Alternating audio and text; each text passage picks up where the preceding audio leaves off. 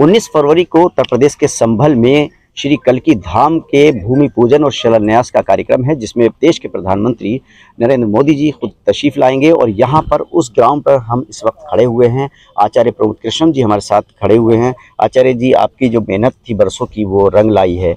अब प्रधानमंत्री जी का भी कार्यक्रम जो है, आपने निमंत्रण दे दिया है। उन्नीस तारीख का फरवरी का है आने का। तो क्या तैयारियाँ हैं और क्या कहना चाहेंगे?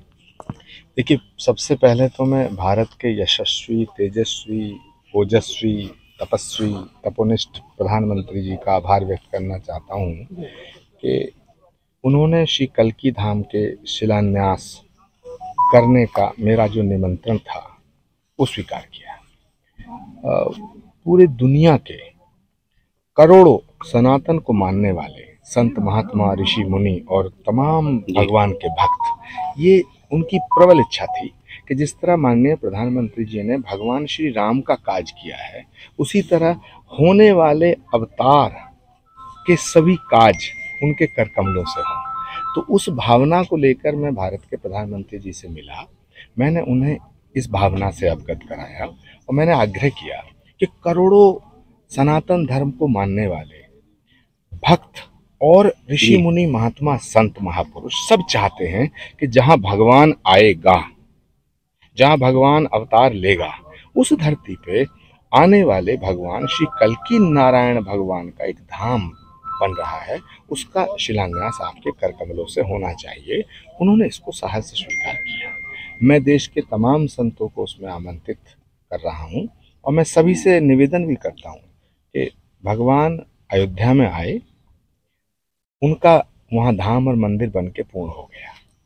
और ये बड़ा सौभाग्य का विषय, बहुत ही अद्भुत सौभाग्य संयोग है कि जहाँ भगवान आया, उसका मंदिर भी माननीय प्रधानमंत्री जी, मोदी जी के सफल प्रयासों से पूरा हुआ। और जहाँ भगवान आएगा, वहाँ भी आदरणीय प्रधानमंत्री जी के कर कमलों द्वारा ये इसका शिलान्यास होगा। और पूरा विश्व आनंदित है।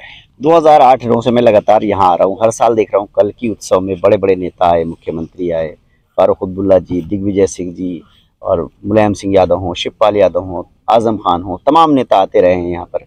तो क्या इन सब नेताओं को निमंत्रण आप दे रहे हैं? इनको भी बुलाया है? दिग्विजय सिंह तो आपके बड़े खास दोस्त हैं। श्री कलकी धाम का शिलान्यास समारोह सनातन का उत्सव है संपूर्ण भारत का उत्सव है। श्री कलकी धाम वो भूमि है जहाँ भगवान आएगा और जहाँ विश्व बंधुत्व और वसुधैव कुटुंबकम के सूत्र को आत्मसात किया जाता है। सर्वधर्म संभाव के साथ साथ सनातन और सनातन को मानने वाले करोड़ों लोगों की आस्था का केंद्र है श्री कलकी धाम हम्म। और पूरी दुनिया में श्री कलकी धाम एक ऐसा धाम है जो भगवान के अवतार से पहले स्थापित हो रहा है। ये बताइए कांग्रेस में है आप। लंबे समय से यहाँ पर आप राजनीतिक बयान भी देते रहे हैं, बात होती रही है। पहला जो, वो थी, एक इमेज थी, जब प्रधानमंत्री जी से आप मिले तो क्या लगा आपको जब आपने निमंत्रण दिया? क्योंकि आप तो कांग्रेस के बड़े नेता हैं, प्रियंका गांधी के कानूनी सलाहकार हैं, और समय समय पर घेरते भी रहे हैं भाजपा को, मोदी जी को। तो जब आप मिले तो क्या प्रतिक्रिया थी? पहला क्या इस तरह से प्रतिक्रिया थी प्रधानमंत्री जी की? देखिए पहली बात तो ये है कि मैं प्रधानमंत्री जी से कोई राजनीतिक चर्चा करने नहीं गया था। मैं उनको श्री कलकी धाम के शिलान्यास समारोह श्री कलकी धाम का शिलान्यास उनके कर कमलों से हो इसका आग्रह करने गया था। तो वहाँ कोई राजनीति का कोई विषय ही नहीं उठा। आदर सत्कार अच्छा रहा। प्रधानमंत्री जी बड़े हृदय के स्वामी हैं और मैं निसंकोच ये कहना चाहता हूँ कि प्रधानमंत्री जी के ऊपर कोई विशेष दैवीय शक्ति का पूरा पूरी कृपा है।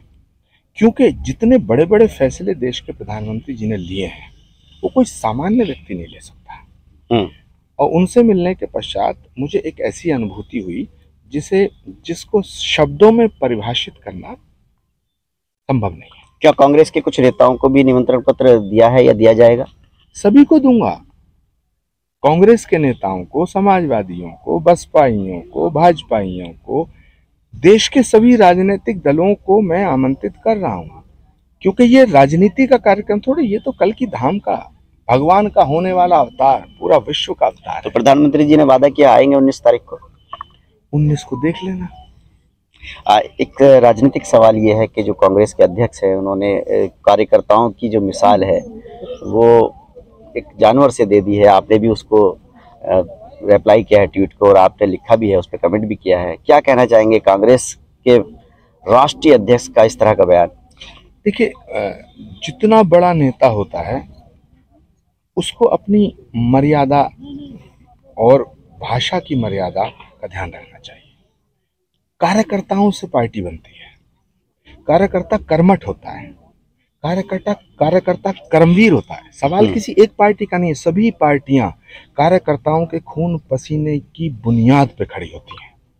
तो कांग्रेस का कार्यकर्ता कर्मठ है कर्मवीर है उसी की बुनियाद पे पार्टी खड़ी है। माननीय अध्यक्ष महोदय ने जो कार्यकर्ताओं के लिए भाषा का जिस भाषा का प्रयोग किया उससे मेरा दिल दुखा है। मेरा नहीं करोड़ों कांग्रेस के कार्यकर्ताओं का दिल दुखा है। तो मुझे लगता है उन्हें इस अपने वक्तव्य के लिए क्षमा याचना करनी एक बार चल के आप दिखा सकते हैं यहाँ पर जो ये जो मंदिर का स्थल है तो कहाँ पर जो वो होगा भूमि पूजन और शिलान्यास का कार्यक्रम किस जगह होगा ये जो गड्ढा खुदा? ये वो स्थान है जी। जहाँ भगवान श्री कल्की नारायण के धाम का गर्भगृह बनेगा जी। और इसका शिखर 108 फुट ऊँचा होगा। अच्छा। और ये श्री कल्की धाम पहला ऐसा धाम है बल्कि विश्व का पहला ऐसा धाम होगा जिसमें भगवान विष्णु के दस अवतार के अलग अलग गर्भगृह होंगे। हम्म। अलग अलग गर्भ। जी। जितने भी धाम और मंदिर हैं उनमें गर्भगृह एक है बाकी हम्म। सब देवता स्थापित हैं। लेकिन लेकिन ये ये ऐसा पहला विश्व का ऐसा धाम होगा जिसमें भगवान विष्णु के दस अवतार के दस अलग अलग गर्भगृह होंगे। तो नौ गर्भगृह, नौ भगवान के अवतारों का दर्शन करके फिर अंतिम अवतार श्री कल्की का दर्शन होगा। देखिए, आचार्य प्रमोद कृष्ण जी हमारे साथ हैं और बात कर रहे थे और बता रहे थे, हम एक बार फिर दर्शकों को दिखाना चाहेंगे कि ये जो जगह है, यहाँ पर गर्भगृह जो है वो स्थापित किया जाएगा और इसकी तैयारियाँ जो है यहाँ पर की जा रही हैं। जो पूरा मैदान है, यहाँ पर कल की धाम जो है वो बनने जा रहा है और भगवान कलकी का जो विशाल मंदिर है उसके बारे में आचार्य प्रमोद कृष्ण ने हमें बताया कि वो यहाँ पर जो भूमि पूजन है और उसका जो उद्घाटन है वो खुद प्रधानमंत्री 19 फरवरी को आकर के करेंगे। तो फ़िलहाल जो तैयारियाँ हैं तमाम अधिकारी हैं और जो कल की धाम से जुड़े हुए लोग हैं वो यहाँ पर आए हुए हैं। यहाँ पर आचार्य प्रमोद कृष्ण जो हैं तैयारियों का जायजा ले रहे हैं और अ, 19 फरवरी को प्रधानमंत्री खुद यहाँ पर आकर के जो कल की मंदिर का निर्माण होने जा रहा है, उसका भूमि पूजन और शिलान्यास कार्यक्रम में शामिल होंगे। वैदुर Rahman ABP news network Sambhal.